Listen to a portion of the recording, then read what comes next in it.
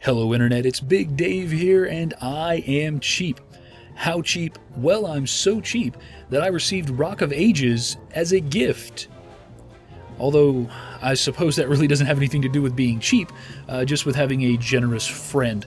And in this case, that friend's name is David, and he goes by Deftonius online if you catch him on Steam.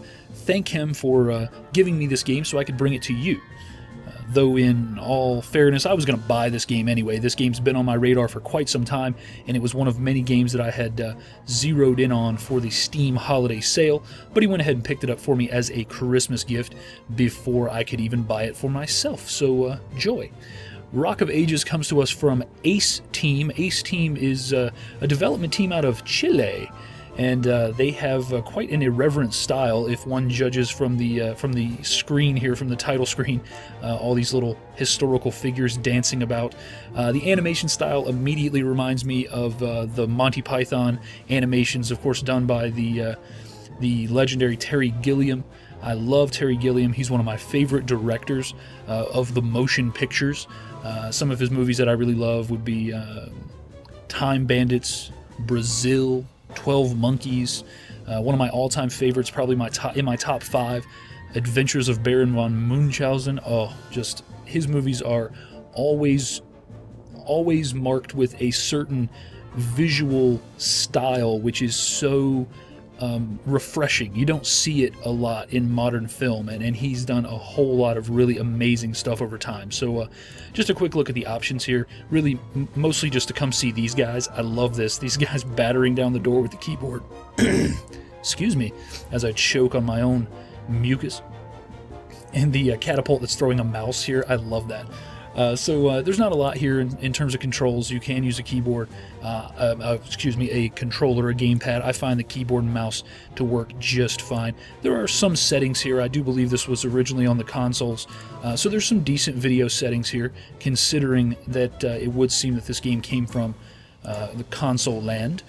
this is the Unreal 3 engine, I do believe, which is an interesting usage of it. Uh, the game is full 3D once you get into it, and speaking of that, let's just go ahead and get into it. Um, you can change your character, but that doesn't really seem to do anything other than change a visual style. So uh, here we go. This is the overall world map. Uh, we are uh, playing as Sisyphus. Uh, Sisyphus is the uh, character from Greek mythology who was cursed to roll a boulder up a hill only to have it roll back down again and repeat that for eternity. Uh, the reason he was cursed in this manner is because he thought himself smarter than Zeus, and uh, several different times he tricked the gods, especially the gods of the of the underworld, Thanatos and Hades. Uh, he escaped from Hades. He he chained the god of death and caused all mortals to stop dying. Uh, you know, so he, he's a pretty tricky fellow, and in this case, he has done it again. He's managed to escape from his eternal punishment in Hades, and he's taken his boulder on the road and he's rolling it at all sorts of historical figures. So uh, here we go. Let's uh, every every level opens with a cutscene, so let's take a quick look at this little cutscene. They're all just sort of goofy, funny, lots of references in them. So here you go.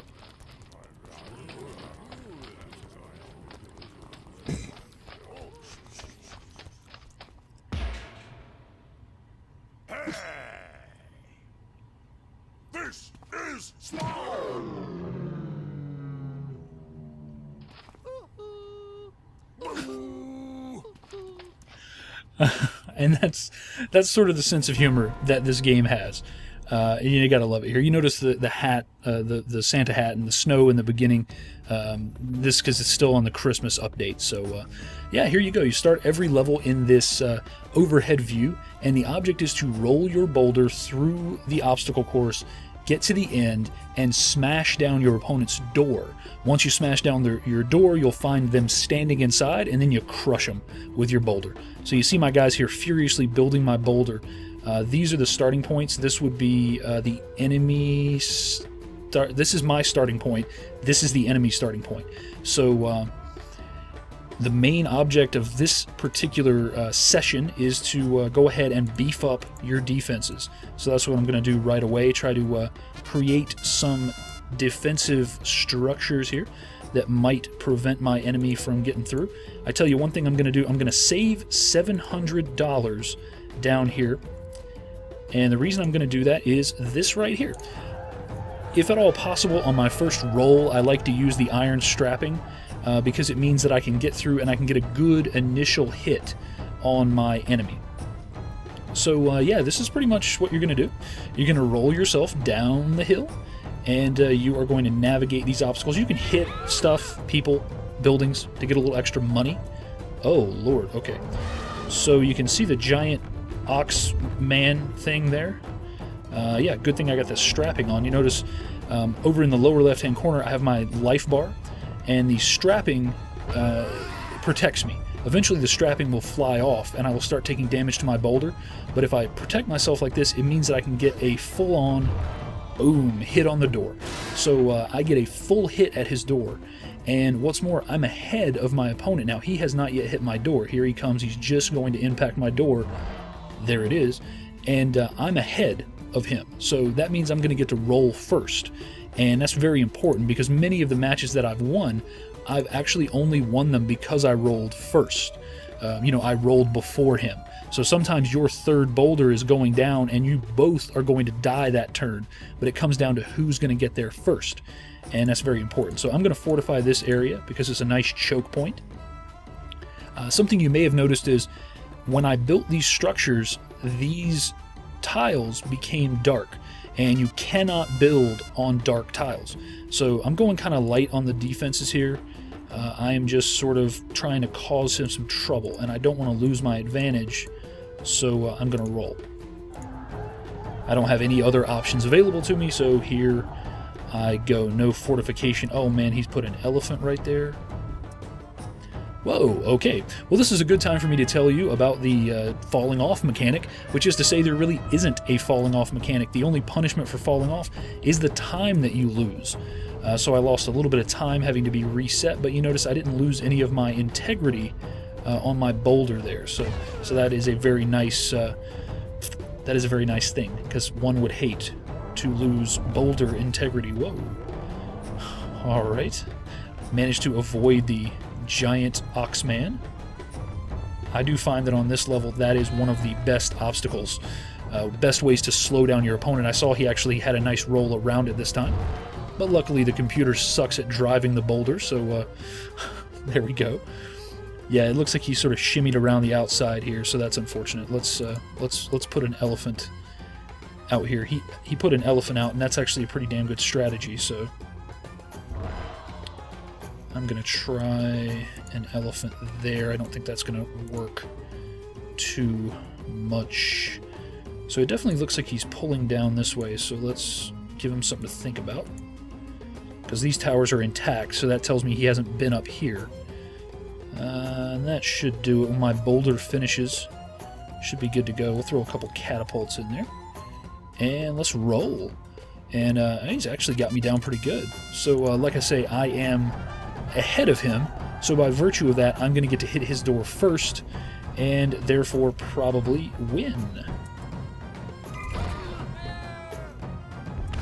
There we go. Earning a little extra money by smashing those buildings. And uh, yeah, this is pretty much what the game is. I mean, it gets more complex because you get more power-ups uh, to actually build your defenses. But other than that, this is this is pretty much uh, pretty much the crux of this game. It's a hell of a lot of fun. Um, it really, really is. Now, he's rolling now, but that is really in inconsequential because he's dead as I line up my shot here. So we are going to kill good old Leonidas, who's hiding behind the door. And all that's left to do is roll him over. Boom. And there you go. We got some statistics, statistics, if I can say that word. Uh, statistics here if you like that sort of thing units built, boulders used, etc., etc. And there we go. We move on and uh, to the next one.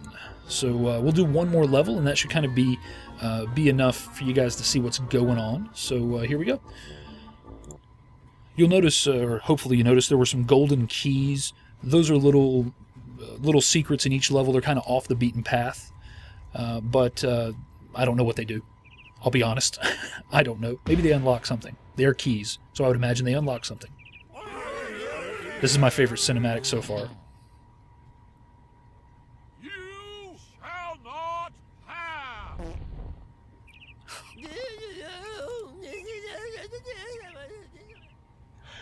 Oh god, I'm a sucker for a Lord of the Rings reference, so there you have it. So here we go. All right, let's uh, let's see what do we got here. Uh, okay, where's my door? Okay, there is my door. So uh, that's a weird little. Okay. Well, so the first thing I'm going to do is just try to create a nice wall off somewhere choke pointy.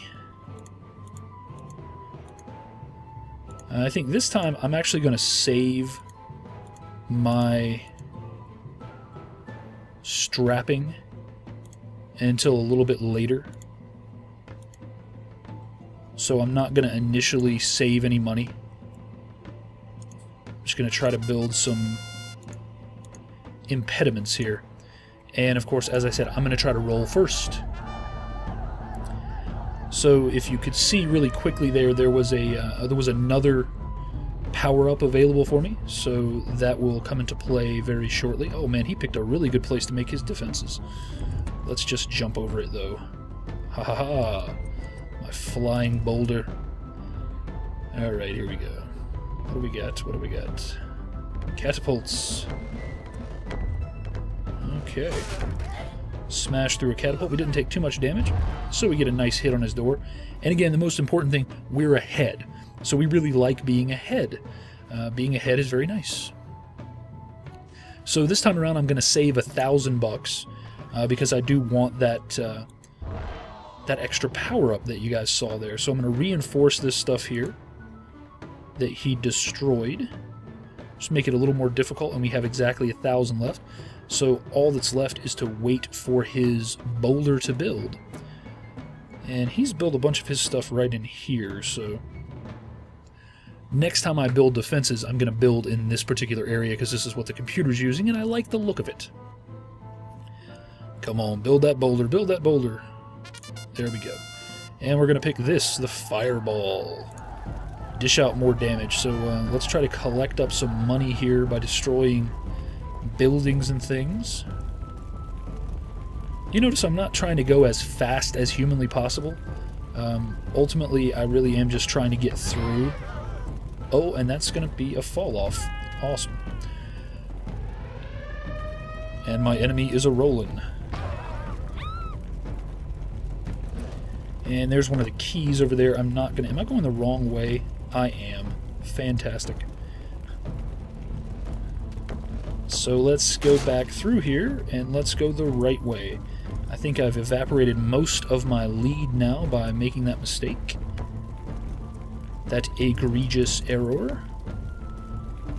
Yes, indeed I have. So here we go. We've definitely taken some damage, but uh, our fire boulder is going to give us a little bit extra oomph. There we go. Very, very nice. Uh, so again, it comes down to one boulder and uh, we just need to hit this last one and make things... Uh, yeah. Make some defenses here, make some things to uh, impede our enemy's progress. And again, I'm really not too concerned about how effective this is. Um, that's why I'm using the little small guys. I'm just I'm just fortifying as best I can against his. Uh, oh, we're all out of money. I'm just fortifying as best I can to slow him down. Um, that's really all I need, because all I got to do is get to that door. Now, he's actually not done too much damage to me, so he may need a second hit. Uh, so I may not have anything to worry about at all. But I'm not going to tempt it. I'm just going to go ahead and finish this off. So guys, as we finish this uh, last roll up, uh, let me just tell you that I've enjoyed the hell out of Rock of Ages. I do see there's some limitation uh, to the game. I mean, it, it definitely um, it, it, innovates on its own concept to a certain degree, but uh, there's only so much you can do with a game that is based around rolling a boulder uh, down a hill. I think that this game is fantastic for the money that I would have paid for it had I bought it. I would have been super happy. There we go. Scream like a girl. There we go. Uh, I would have been very happy. That death sound. paying uh, you know two fifty, five dollars, even ten dollars for this. I really. Uh, I really had my eye on this game from the time it came out, and I really, really enjoy this game. Um, it's been a whole hell of a lot of fun. Uh, I will go ahead and get into the next level, but I'm going to go ahead and let you guys go as I continue to play because this is as far as I have progressed at this point. So uh, I, I hope that you guys will take a chance on Rock of Ages if you didn't buy it during the holiday sale. If you did, hopefully this video will compel you to install it and uh, actually give it a go. Uh, this has been Rock of, da- uh, of Ages. I almost said Dages. a little anxious to say my own name, I guess. Uh, thanks again to Dave, uh, my good buddy Deftonius. A little bit of a Castlevania ghouls and ghosts sort of reference here. oh, Vlad, you're so bad. Yes. So a little bit of a, of, of a Castlevania uh, reference there. Love that. And uh, yeah, thanks again to Dave, aka Deftonius, for this wonderful Christmas gift. Uh, one of the best I got this year, actually. And um, yeah, I have been Big Dave, and as always, take it easy.